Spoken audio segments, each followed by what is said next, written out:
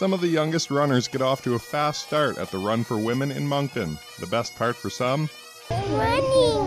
Running? Yeah, do you, do you like running?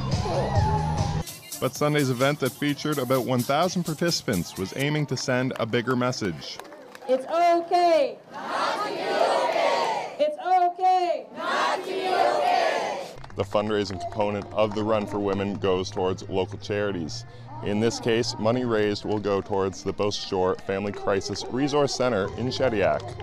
The Crisis Center provides immediate, short, and long term counseling and crisis intervention to people that experience emotional difficulties and mental health issues all across southeast New Brunswick.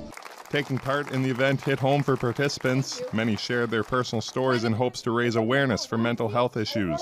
I myself have a history of dealing with mental health. Um, I've been on antidepressants since I was about 23 and uh, work in the mental health industry in the pharmacy and just here to help out wherever we can. I suffer from borderline personality disorder and it's been it's been a tough journey, you know, getting my diagnosis about a year ago. So I'm just trying to come to terms with it and seeing seeing this makes me hopeful for future generations.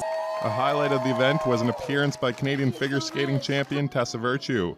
Virtue kicked off the race by offering words of encouragement to the runners at the starting line. Talking to the, the people here running and walking and participating today, it's, it's so inspiring and it's, it's necessary because it's uh, affecting us all and the stats are, are really troubling.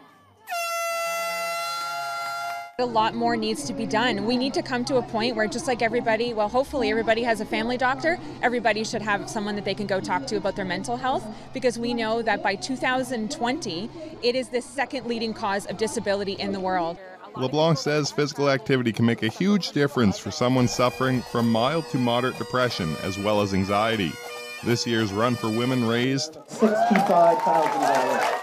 $65,000 for the Beauséjour Family Crisis Resource Center's capital project, a trauma informed multi purpose facility. Callum Smith, Global News, Moncton.